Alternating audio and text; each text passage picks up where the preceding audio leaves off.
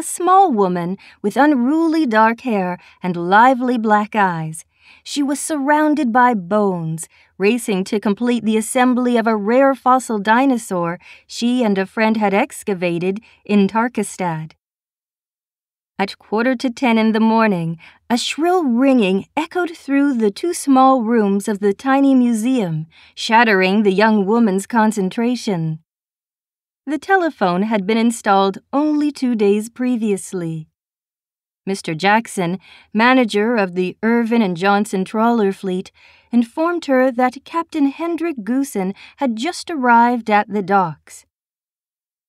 There is a ton and a half of sharks for you on the trawler Nerine, he said. Are you interested? Marjorie was tempted to say no. A small woman with unruly dark hair and lively black eyes. She was surrounded by bones, racing to complete the assembly of a rare fossil dinosaur she and a friend had excavated in Tarkastad.